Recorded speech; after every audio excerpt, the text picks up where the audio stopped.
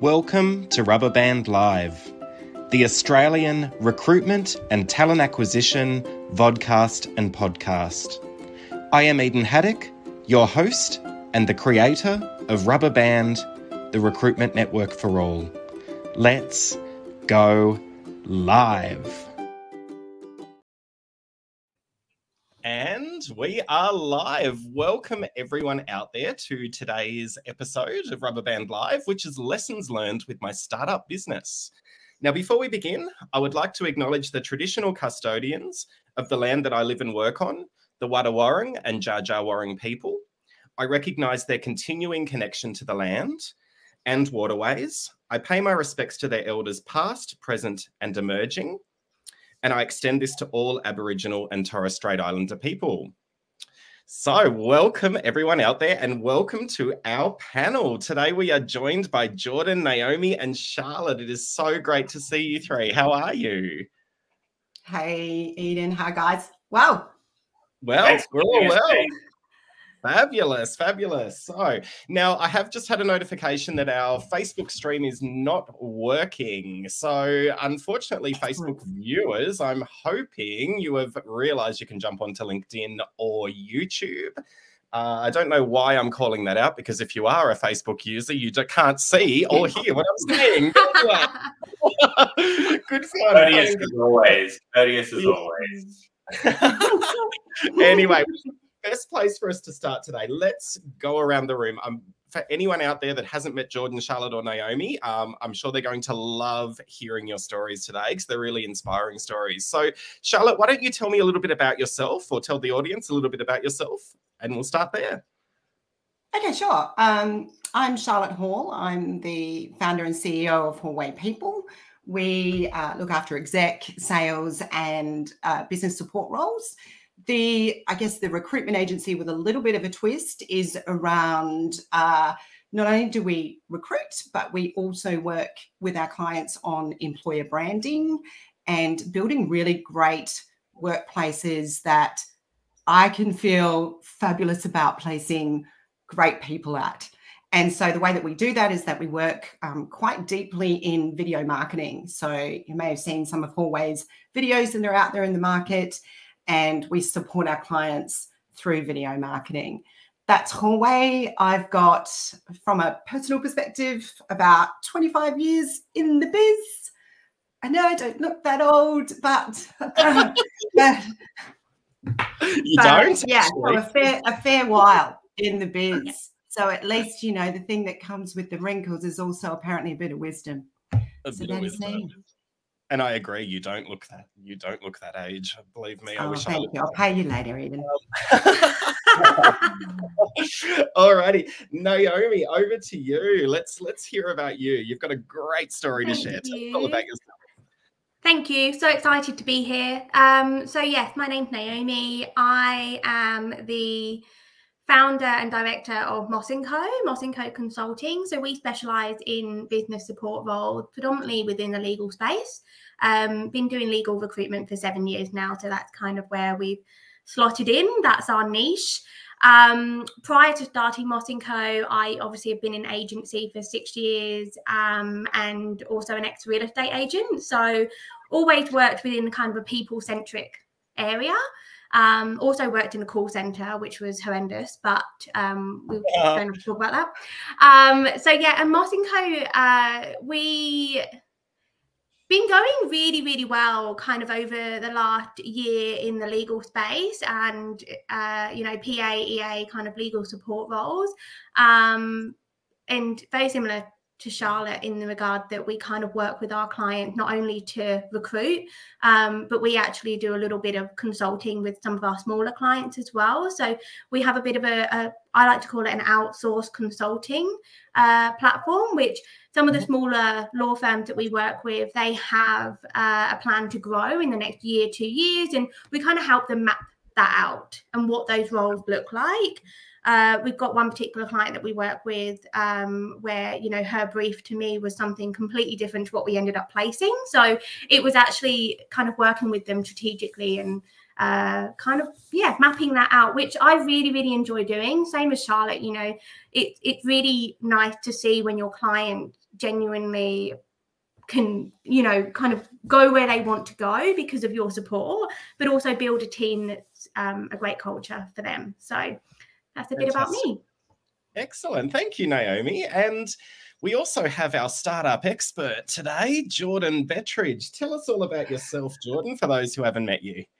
Way to set the tone. Thanks mate. Um, thanks everyone for joining. If, um, if I've not um, ever been seen before, my name is Jordan Betteridge. I am uh, currently the CRO and CMO of a company called Recruit Wizard. Recruit Wizard is uh, one of Australia's longest standing privately held ATS and CRM uh, solutions for recruitment agencies and internal talent teams that we support across all across Asia Pacific, uh, but more predominantly here in Australia and New Zealand.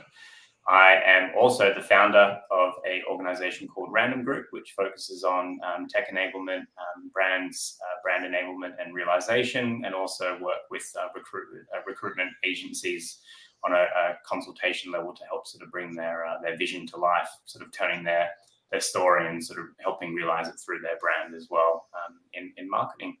Um, I'm also the former founder um, and director of an organization called Volcanic uh, which was recently uh, acquired back in 2019 by the Access Group. Uh-huh. Fantastic. Well, so audience, what we're going to do today, we're going to talk about these the, the, the journey of these startups. Um, and Charlotte and Naomi and Jordan are going to share their experiences uh, and some of the lessons that they've learned along the way. The way we're going to do it, we're going to split it into three uh, components. We're going to talk about laying the foundations of a startup. We're going to talk about financial lessons for startups and also the digital landscape and leveraging technology. Now, along the way, audience, if you have any questions, please pop them into the chat box. We can read your questions there and we'll try to address as many of them as possible. Where we're going to start now, we're going to go around the room. So this, this component is called From Scratch to Success, laying the foundations of a startup. So we want to hear about those foundations, how you actually kicked off, what made you kick off. So, Charlotte, we'll start with you. Tell me about the foundations of your startup. Sure. Okay. Uh, a couple of things. Well, firstly, I think to talk about the foundations, I've got to talk about the why and where the motivation was for me. And I think it was, you know, I'd been wanting to start my own brand for about 10 years.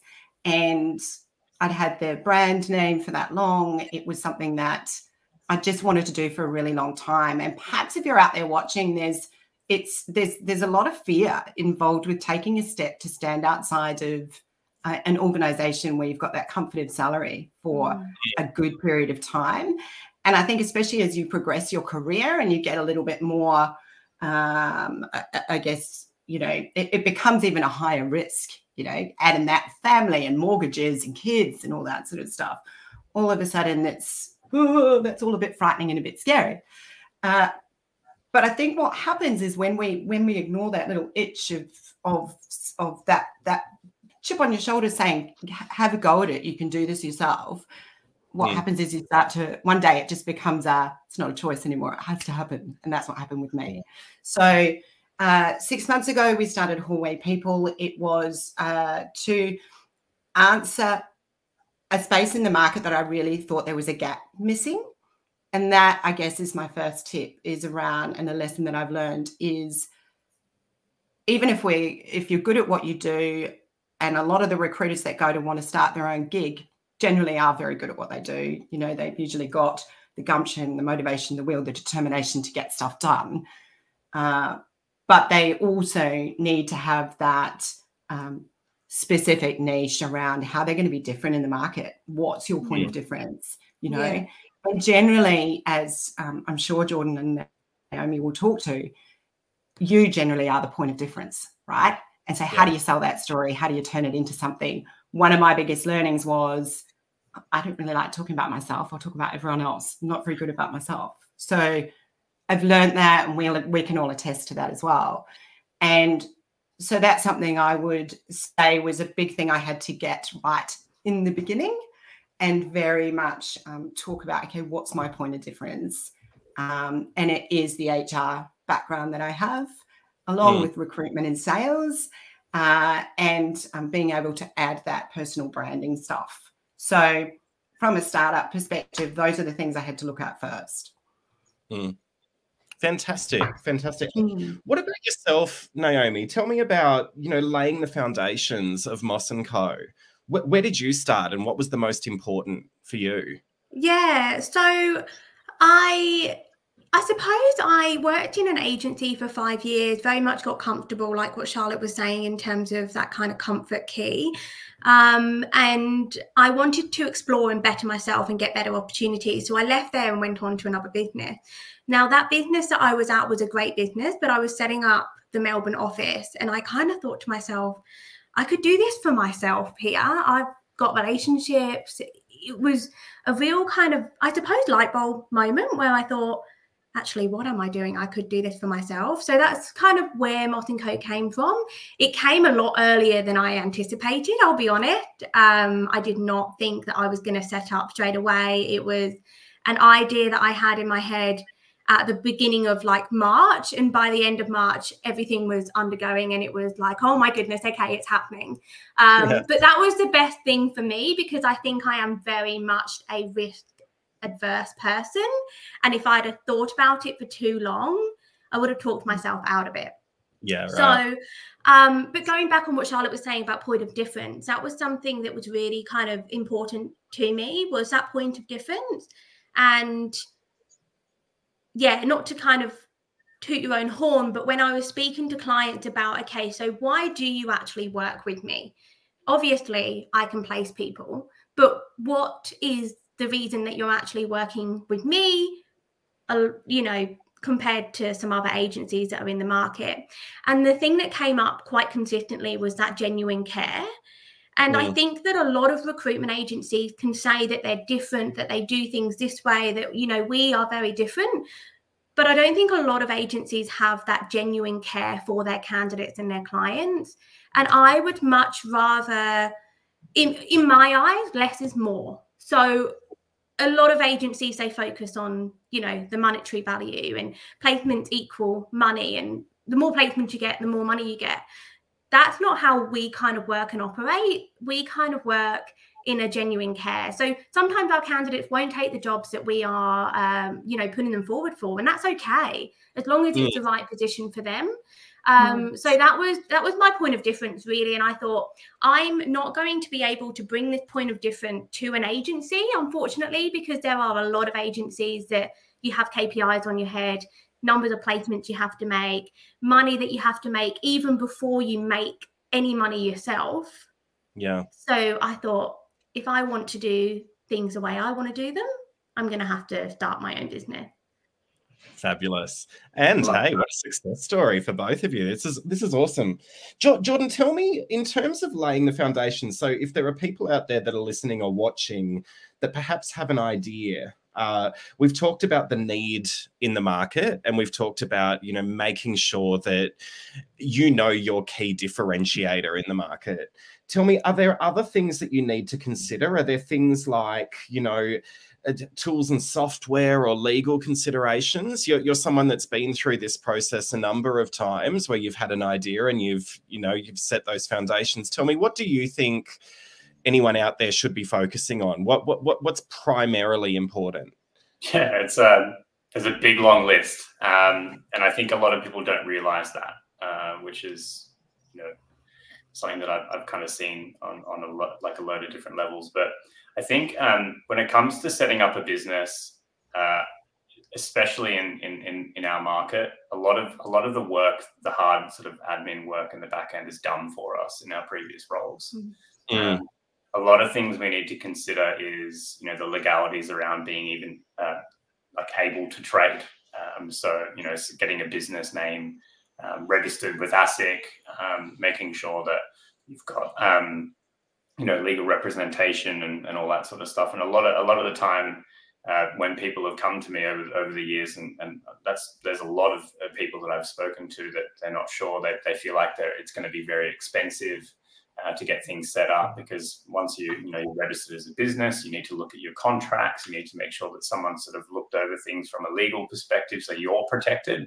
Um, mm. what we got to remember um, and, and Naomi said this uh, when when when you have an idea that's right for you as an individual and a professional and in like it, it becomes like a, an out of body experience you you have this idea it's a concept and then because you mean mean so you know you mean to get there so uh, so intently it all, all, always almost always just falls into your lap and then you can forget all of these really sort of important things from a legality perspective i think if mm. anyone's out there today watching uh, that is that's considering whether it's in recruitment or just in general wanting to start or step out on their own there are a number of affordable um, almost like self-service tools out there that you can um, go to and approach um, mm. and, and, something to remember if you're not not really sure what to do it's always free to ask if someone wants to charge you um, to, to give you advice on setting your business up setting up ABNs tax file numbers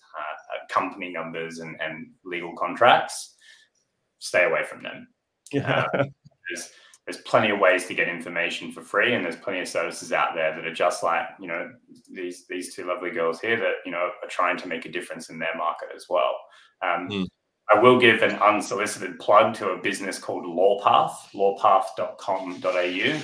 Uh, you can actually go on there and pay a monthly subscription um, and have everything set up for you um, with included for advice as well. So it's definitely somewhere that I definitely recommend to set up. I've seen mm. hundreds of business go through that. And also myself, I've set up my business through Lawpath as well. Um, Fantastic.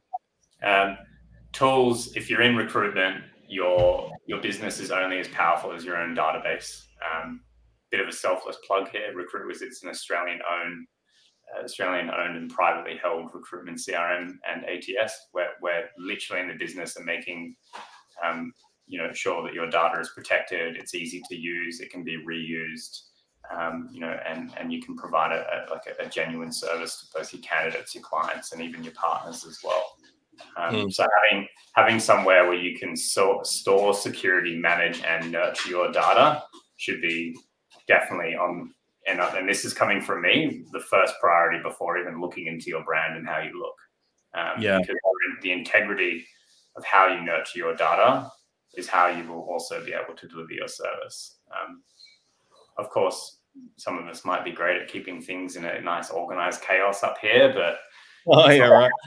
It's just not, it's just not scalable. Um, and it's about protecting yourself as well, because it's very easy to go mm. deep into this concept and then find yourself in a position where you might be a bit overwhelmed with keeping up with things and, and nurturing mm. and nurturing your time and, and all that sort of stuff. And the last thing we need is, you know, for anyone to feel burnt out. It's an exciting time. It should just be easy, right?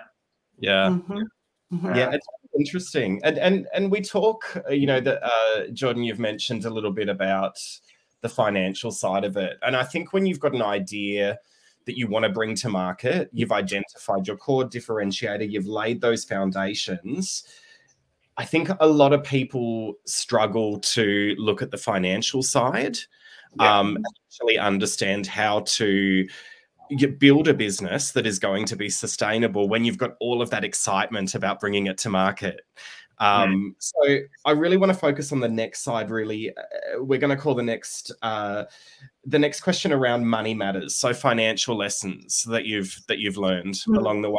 And and I'll start with um, you, Charlotte. So tell me, with you know launching Hallway People, how did you approach that financial side? What what what did you do to make sure that your business was going to be sustainable? Mm. Good question. I really didn't do a lot at all, Eden. I was extremely unprepared. And this is one of my biggest lessons. You know, I am a salesperson, you know, not a finance person. And so my background, whilst it is certainly commercial from a business perspective, um, from a small business point of view, it's just, you know, I'm uneducated in that space, quite frankly. And so I learned the hard way in that oh crap, I, I need to have all of these things in place as far as um, cash flow, treasury, all the different things that I need as far as growing a business quickly. Because essentially, I've heard now since I've started Hallway that for a lot of recruiters, especially people that have got a good network out there, what happens is that we go out, we start our own brands, and your clients and people that love you out there come out of the woods really quickly and say, Oh, you're back on the tools, you've got your own thing, can we support you? Mm. And it just boomed very quickly. And I got distracted and was very much like, fill, fill, fill, fill, fill very quickly. And a lot of the really good fundamental stuff that, um, you know, both Jordan and Naomi were talking about, I completely neglected. And mm. so you know that would be my uh, one of my um, tips would be make sure you get the finances the tech and the um, legal stuff done first. Uh, i did that after the fact. I was lucky. There was a few moments where it could have been touch and go. Oh crap can i still have the name? Hmm. so um, and to jordan's point about tech as well just briefly sorry to go back a, a couple of um, points but database is so important um, uh, self a, a, plug here to Recruit Wizard. I have got Recruit Wizard in my business. It's fantastic. Um, it's easy to use. It's Australian based.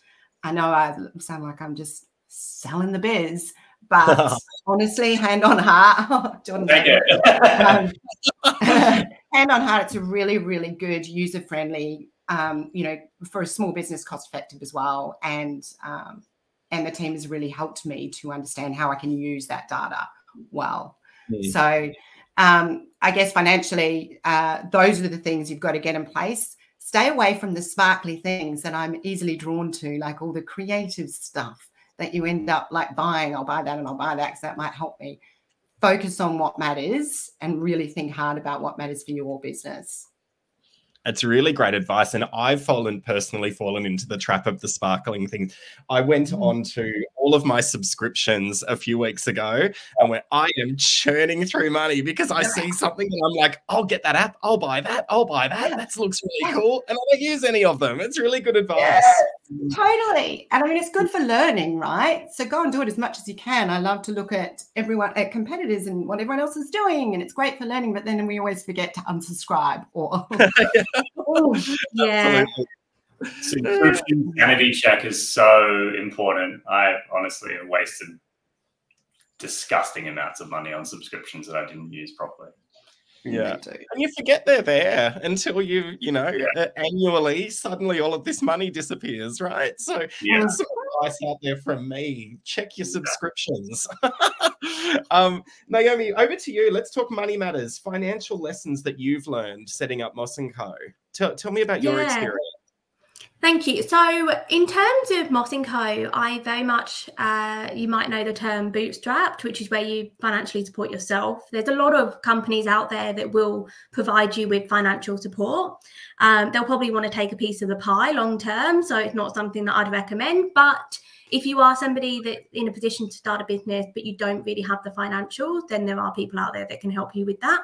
Um, but I very much kind of bootstrapped here at Moss & Co. Um, like Charlotte said, um, was very, very lucky at the very, very beginning stages. Um, prior to even properly launching, I had a client reach out to me for an urgent role. And it just so happened that I had a candidate reach out to me at the same time. It worked out, placed them, and I hadn't even launched. I remember sending the first invoice going, I don't even know how to send the invoice because I haven't set up Xero yet. Um, and I was in Bali at the time when this person started as well. So I was like, ah. Um, but you know what? Those are the best lessons that have been learned when you kind of just wing it and then it goes mm. well. I wouldn't rec- mm. recommend winging it, but um, in terms of you know financials are very much kind of bootstrapped. I was very very lucky to have placed somebody prior to launching, so that kind of set me up for success. Um, going on the subscription stuff, it's quite funny really. I'm actually a little bit the opposite of you guys. I kind of I'm so so money conscious, so I don't really spend it. Um, I do buy handbags and I love buying handbags, don't get me wrong. But when it Teach comes to your ways. yeah, I just don't like subscribing to something because I'm like, no, nah, I'm not paying you a monthly fee for nothing. So even uh, I, I use MailChimp for my mailers. I don't pay for that. I'm not paying for that. So in terms of subscriptions, I kind of keep it very, very light. But maybe I'm still in that startup mindset where I'm like, this could all crash and burn tomorrow and I'll have no money. So I don't want to put everything on. Um, the only thing I do pay a lot of money for is LinkedIn Recruiter. And that's probably been quite imperative in my market, which is very candidate short. So spending money on tech when it comes to that, it's not just CRM, ATS, or you know, your kind of invoicing and accounting software. It's also maybe use something like LinkedIn Recruiter or you know another kind of tech that where you can actually like even Seek is so expensive and you could spend so expensive, yeah, heaps mm. of money on Seek. And that's the one thing I didn't realize before setting up is how expensive all of this stuff actually is. Like I knew that LinkedIn was around six hundred dollars a month, if not, mine's eight hundred. Um, then you've got kind of your CRM, so it all adds up. Um, so yeah, so going back to financials, I kind of bootstrapped it, made a placement um, prior to launching, which kind of set me up for, I suppose, three months of expenses. Um, and then it got the ball rolling. It was momentum. You know, that's what recruitment is. Once you win one, you're like, okay, cool, I can do this. So that was, I suppose, solidifying the fact that I could actually do this because I made that placement. Um, and then it moving forward, I always keep at least six months of expenses in the business account. I've actually um, what we made last year, I only took a very, very, very, very small salary. My friends laugh at me because they're like, I don't know how you've survived on that. But uh-huh. I want to keep it all in the business and reinvest it.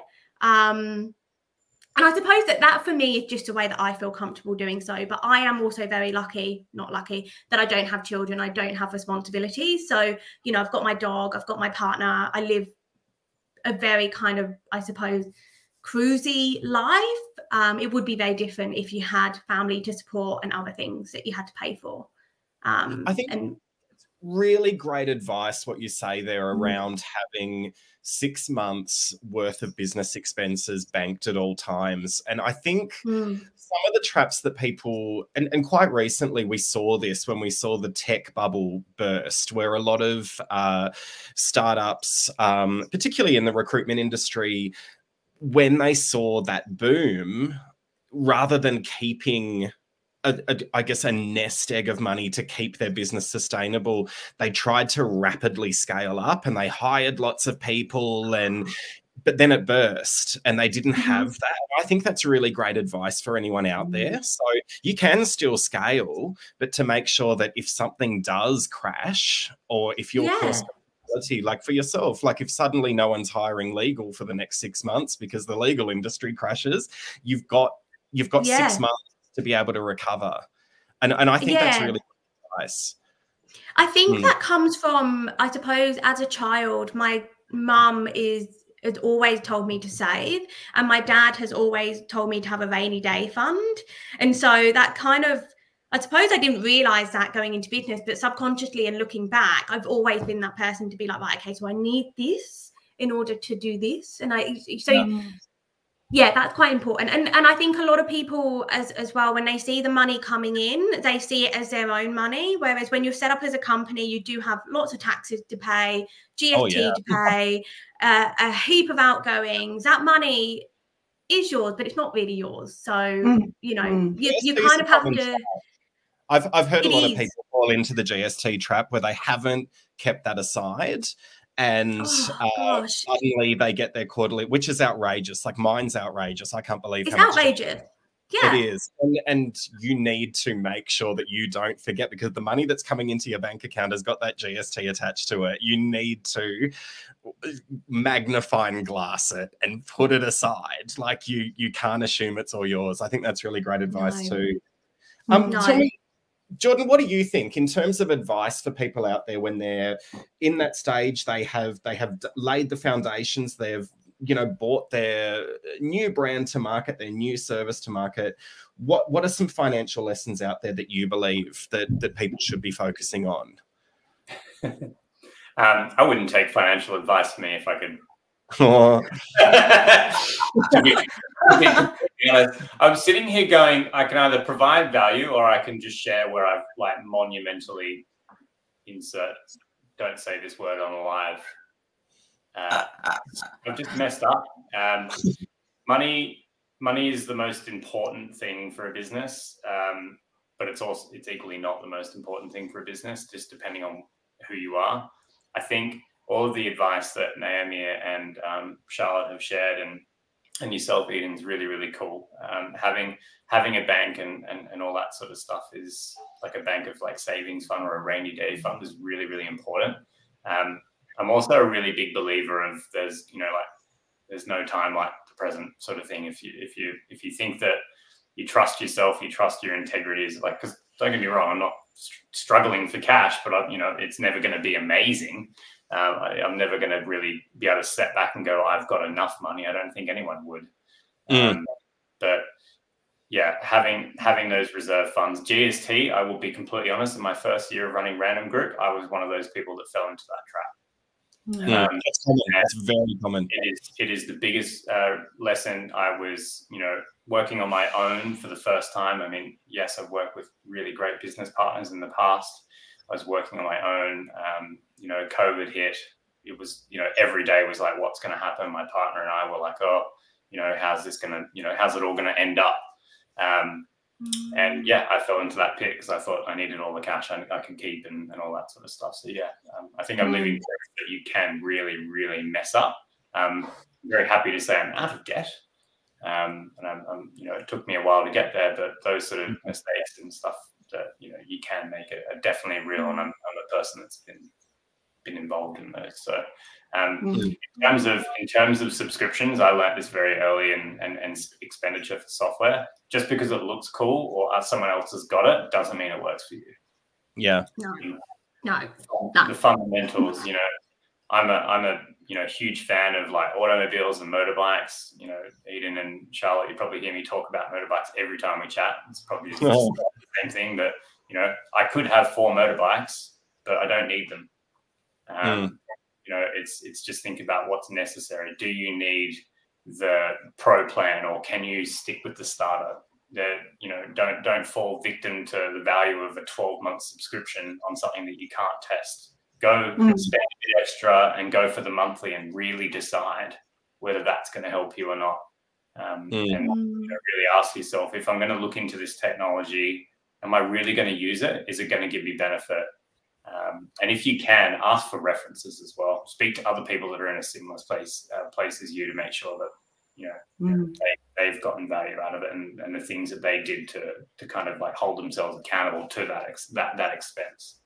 Yeah, and I think you gave really a good advice earlier on in in this stream, Jordan, where you know you you look at and, and, naomi you mentioned those business essentials the things that you that are critical that you need 100% i think it's identifying what those are but doing enough research because there are free things mm. out there and I yeah. think Jordan gave really great advice around, you know, legal support, for example, because you look at what's essential, what do I need? And the first thing you do, you'll try and tick all of those boxes off um, so you can go to market and and it can be a really easy trap to fall in to go i'm going to pay for that i'm going to pay for that i'm going to pay for that. Um, and then of course if it looks really cool and really sexy and it's you know it's all bells and whistles you naturally as a human being you're going to be drawn to it and you're going to buy it. So it's really trying to remove that emotive response from what mm. you're looking at and what you need for your business and really doing your research because it is so surprising what you can get for free. Um, yeah. and it is so surprising the difference in prices. I mean, even if we look at, you know, ATS, for example, I know we we talked about that a little bit. And I, I mean, it, the scale of those costs mm. is, is mm. so different. Mm. You know, quite often the multinational ones that people are really drawn to because they've got a, you know, great marketing strategy so much more expensive, yet they're not doing anything more than what other ATSs are doing locally. They're they they just you're paying for the name. Yeah. Mm. Yeah. I think that's a good lesson as well. Like don't pay for the name and don't pay mm. for how cool you might be perceived to purchase it because it's irrelevant. It's yeah. it's really yeah. what is to be fundamental for your business. Yeah. Now, so we're going into the technology side, and that's our third theme that we wanted to cover off today, which is the digital landscape and leveraging technology. So, Charlotte, let's let's go into that a little bit more. I know we've touched on it already, but tell me how have you made sure that you're leveraging the right technology? How are you using technology, even things like AI that we're seeing so much more of? Tell me about that. Mm. Well, AI has been um, act, been great so far for me. I've really enjoyed getting to learn about uh, ChatGPT and how that can help me. And, and, Jordan actually suggested I go to the twenty dollar a month plan, to which I went, oh, and as he said to me, trust me, it's worth it. And so I did, and it's amazing. And why is it amazing? When you are um, building a business on your own, the ways in which it can really help and and what I found over time is the more I feed into it about my business and finding the right prompts, the more that it learns about me and you know my authentic style and also you know the brand in which I'm growing as well that it's creating fabulous content for me when I feed it information or it can check like things for example things like writing great job ads. You know I can write one and then I'll chuck it in there and say do it better. Um, and it generally it really does. I read it and go wow that would be amazing. It will then help me with video scripts. I write I do video job ads as well for every ad uh, every job that I do.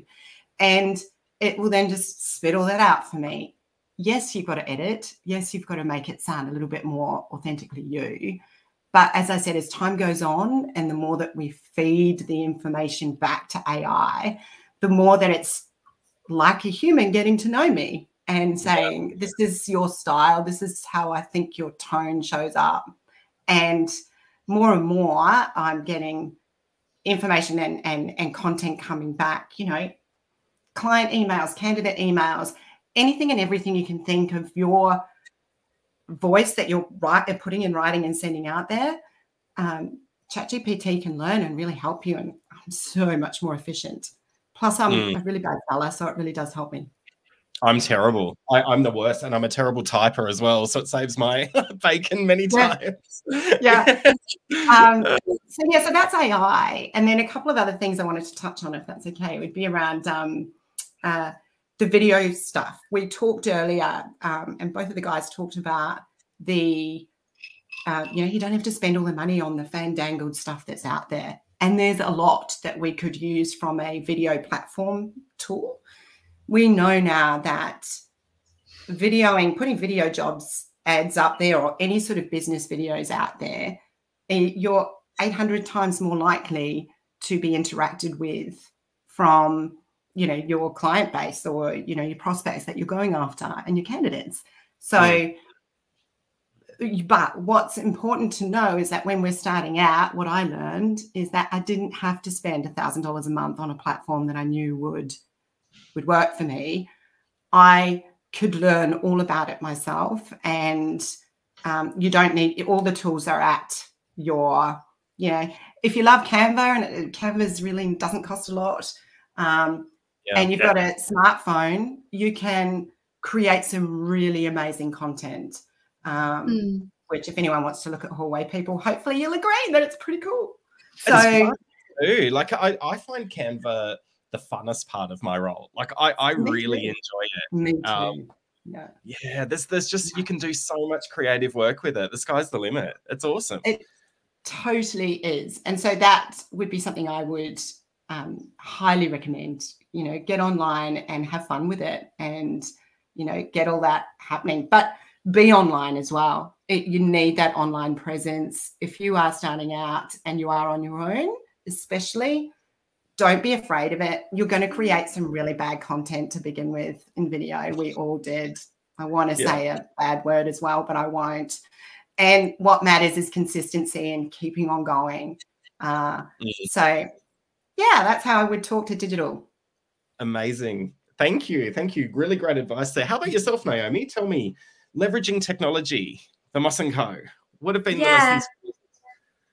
I need to learn from Charlotte to use Chat GBT. I have used it a couple of times, um, but I haven't been the biggest fan of it. So I tend to write a lot of stuff myself, which obviously take time, and that's one of the things that you don't have when you're a business is time.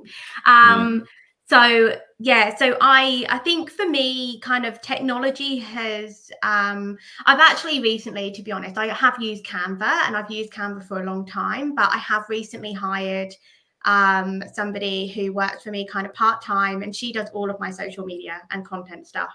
So Awesome. I am not responsible for that. Um, we, I do love doing it, but I I'm, I'm not very good at it, and I do criticize what I put out there. She just says, "Well, we're doing it," and she posts it, and I'm like, "Okay, so we're here." Um, but going back on the video stuff, she is on at me for doing more video content, like Charlotte says. 800 times more likely to people by people, right? If Mm. you're just on LinkedIn writing uh, a scripted, you know, post that doesn't have an Mm. image or a video attached to it, people will skim through that. They probably won't read the whole thing. They'll read the first two lines and then they'll skim through. People are much more likely to watch a video or Mm. look at an image or look at an interactive Canva post. So it doesn't have to be your face, an interactive Canva post, because it's way more engaging. Um, and so that's something that I do need to learn. I do need to do a lot more of. Um, and now I've got Sean working with me. That will be something that I will be doing because she is very much kind of, I suppose, pushing me in that direction. Um, Awesome. And I secretly call her a hype girl because she's basically Mhm. behind me going, "Yep, you can do it. You can do it. You can do it." Um, so yeah, leveraging leveraging technology is really important. I can't say that I'm the best at that. Um, I just I, I just don't know. I, I suppose I don't know how to to do the content stuff. I'm not very creative. I just like talking to people and and Hey. making money that way. That's a good lesson, right? And, I- and I think hmm. it's really important. You know, y- you don't have to be the expert in every component of your business.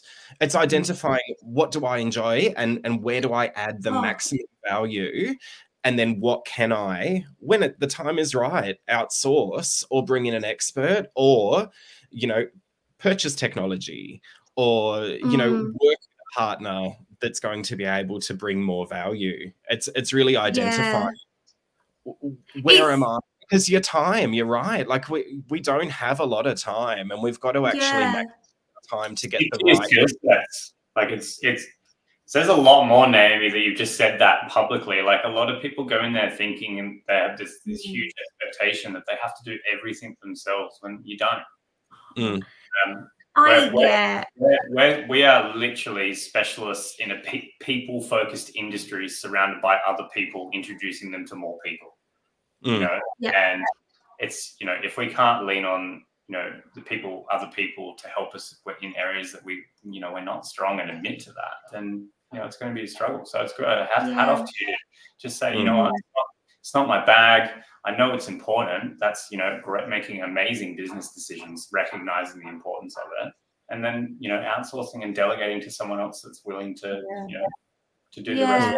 yeah and just following on from that i think i at the beginning of the year so not the beginning of the year january but at, in june when it was big end of you know beginning of financial year I, I wrote a bit of a plan and I said to myself, okay, so what are the things that I need to do in business? And it was really long, you know, and really basic admin stuff, content, all of the things. What are the things that I am good at?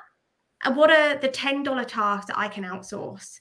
Yeah. And so I really looked at that and I thought, okay, I'm good at this, not so good at this, not so good at this. So that's when I looked at getting Shan on, and she's going to grow with the business too. Her role is not just going to be content. I'm really kind of hoping that I can invest in her and she can, you know, grow with the business. Um, but there were other things that are on that list as well. And one of them is, um, I suppose, the kind of technology side. I haven't got a Scooby about accounting. I don't didn't know. I mean, I knew about GST, but I didn't know anything like that. So, you know, I've got a bookkeeper that I work with on a quarterly basis who does all of that because if I was left to do my bath myself, I would F it up. So Yeah. it's about looking I get it's it. about looking at your your your 10 I call them $10 tasks. They're not $10 tasks, but they're tasks that don't, you know, I can sit there on Canva for three hours and not get anywhere. Sean Mm. can sit there for three hours and do a whole three months worth of content. And that to me is so valuable. And that means I can go get my hair done on a Wednesday morning if I need to, because the time, yeah, Yeah. Absolutely.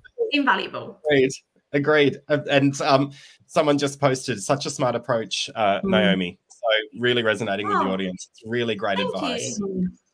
Yeah. So Jordan, we we're going to go to the final now. I'm just seeing the the times now. So finally, what do you think the biggest lessons for you, or the surprises that you've encountered over the years in business? What have they been?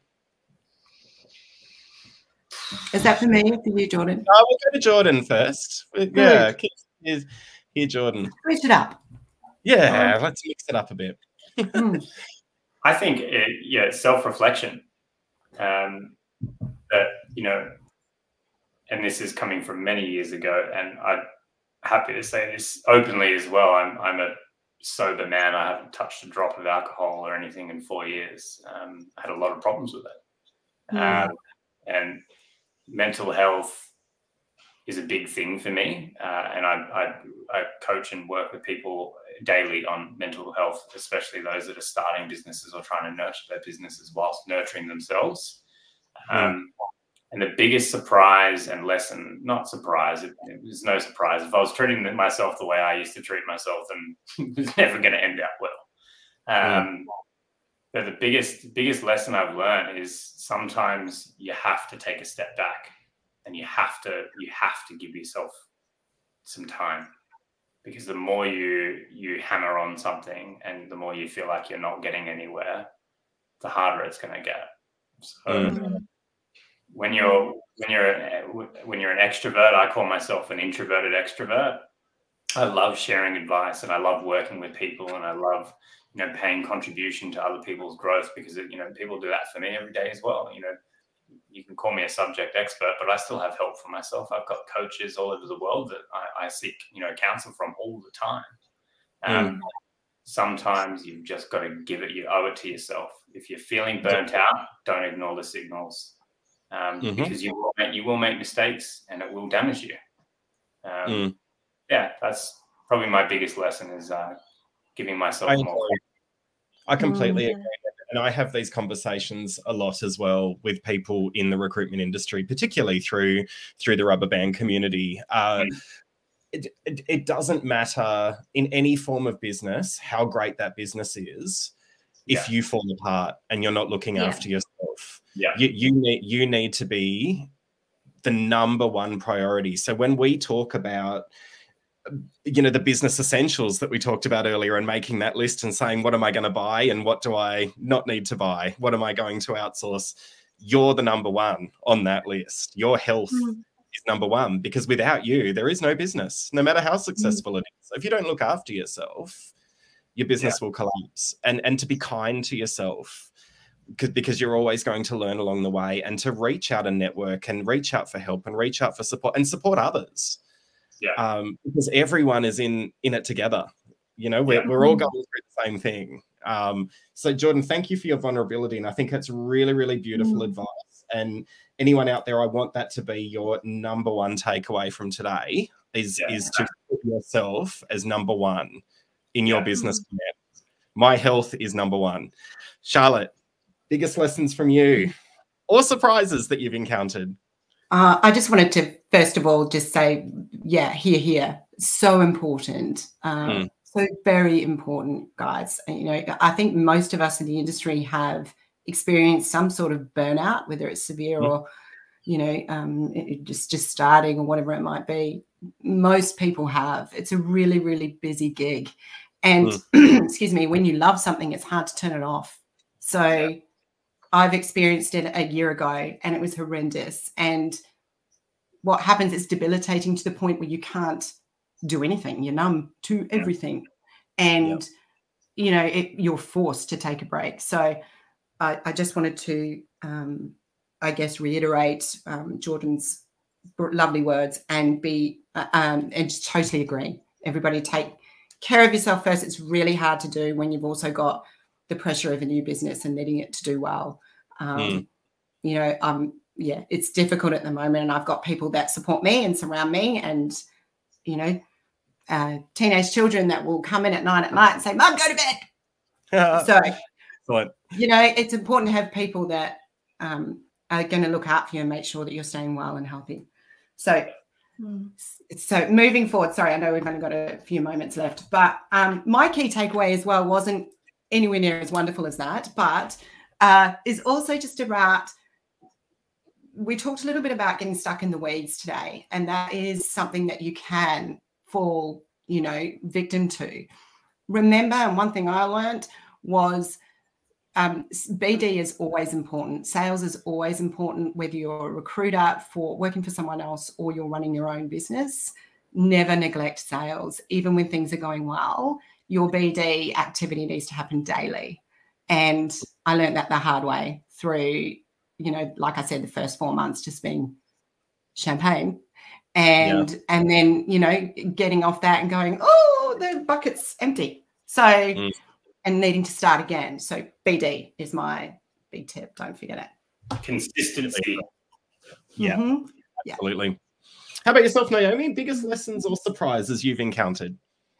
Actually, to be honest, going back on what Jordan and Charlotte was saying, and, and also yourself, Eden, is looking after yourself. I am very much, I mean, everyone in recruitment, you look out for others, right? We're a people business. We think about other people. We're kind of therapists in a way. We talk to people when they're at a really crap time and they're hating their job, they're not liking the culture. They need us to support them in finding something better. Um, and we hear a lot of stories that come with that. Um, and it was actually uh, realizing that I needed to also lean on somebody myself, and I can't be that person to constantly absorb all of this stuff and then not have somebody there for me. Um, mm-hmm. And I've actually, you know, kind of spent. I suppose 28 years of my life not struggling with mental health and then setting up a business. And all of a sudden, I was like, wow, this is what anxiety is. Wow, yeah. this is what it feels to be really low. And I yeah. don't know if that was something coming out of COVID or whether that was setting up a business. But, um, you know, recruitment's always been a high and low thing. But when you've got your own business, it is extremely low, but extremely high. Um, mm. Financial pressures, not knowing when your, you know, next money's coming in, you're not paying yourself a wage. So you know you don't have the luxury of that kind of salary coming in on a monthly basis. So all of a sudden you're completely on your own um, and having to deal with those those stresses. So one of the biggest lessons for me is following on from what you were saying jordan is allowing yourself space and time to heal when you need to do so. I mm. tend to, I get up every morning and I go to the gym. That's my kind of like vice, that's my time.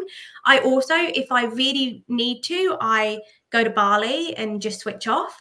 I can't switch off entirely. I'm going to Bali next week mm-hmm. actually because I'm due that kind of trip. It's a co-working trip, so I'm going to be alongside eight other business owners. So it's going to be an absolutely incredible trip, a chance to work yeah, mm. trying to work on the business, not in the business, is the idea. Um, but that is so important, like so important. And that's actually probably something that I wish I knew starting up is that you think the highs are high now, you think the lows are low now, you wait till you start your own business and everything is on you. And yeah. you yeah. can't afford for you to go down. So exactly. that mm. is imperative. And also, as well, there are people out there that you can lean on and there are people out there that want nothing more than for you to succeed. So it's about absorbing that too. Like i go to a lot of networking events. I spend a lot of time with my friends and just absorb that kind of positivity. Um, and that's something that, that's really important. Is you actually surround yourself with people because you're working from mm. home on your own with no one around you um like sometimes you can just sit here and go wow i really just need to just talk and i'll yeah. i'll call a friend. And her and i have that kind of um kind of she does it to me and i do it to her. And and i call her and i go hey i've had a really crap morning. And i just Bleh. and then she goes okay do you feel better now? And i'm like yeah cool. On to the next thing. Um so that's really important. Sounds like a good friend. Yeah mm, absolutely. So look, this just became such a beautiful um, Rubberband Live. just, you, I got it's been great. Look, thank you so much, Jordan, Naomi, and Charlotte for, for joining today. And thank you everyone out there that's either watching live or is watching the playback or listening on the podcast. Uh, please remember to register for our big event in October, uh, which is Bounce 3, the panel van, www.rubberband.com.au forward slash bounce 3. Uh, I'm going to stay online with Jordan, Naomi, and Charlotte to continue the virtual hug. But everyone out there, we're about to stop the stream. Thank you so much for joining us today. Bye, everyone. Bye. Thanks for joining.